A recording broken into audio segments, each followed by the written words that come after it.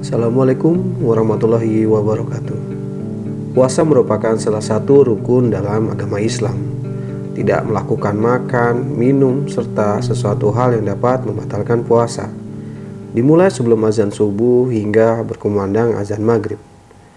Dalam surat Al-Baqarah ayat 183 diartikan seperti ini. Wahai orang-orang yang beriman, Diwajibkan atas kamu berpuasa sebagaimana diwajibkan atas orang sebelum kamu agar kamu bertakwa. Puasa merupakan tanda terima kasih kepada Allah Subhanahu wa taala yang telah memberikan begitu banyak kenikmatan di dunia ini. Puasa melatih kejujuran diri tanpa orang lain perlu mengetahui apakah ada sesuatu hal yang telah melakukan yang menyebabkan batalnya puasa. Bisa aja kan? Makan dan minum tanpa diketahui orang lain, tapi ngakunya masih berpuasa.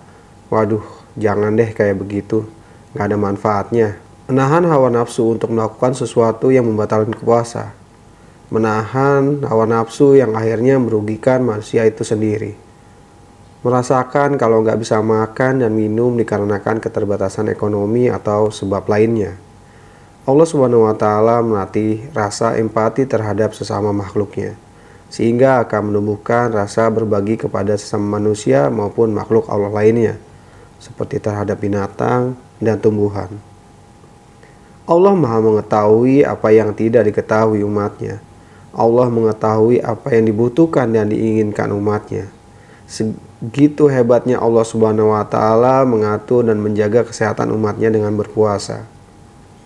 Kesehatan tentu menjadi hal utama dalam menjalankan aktivitas keseharian, baik untuk urusan ibadah maupun urusan keduniaan. Kesehatan menjadi hal yang mahal apabila dalam keadaan sakit. Berapa besar dan banyak uang dan materi untuk bisa kembali sehat. Allah Subhanahu wa taala mengatur kehidupan urusan dunia dan akhirat umatnya begitu detail di dalam Al-Qur'an. Masih berat menjalankan ibadah puasa. Semoga bisa bermanfaat Sampai jumpa lagi di video-video selanjutnya. Assalamualaikum warahmatullahi wabarakatuh.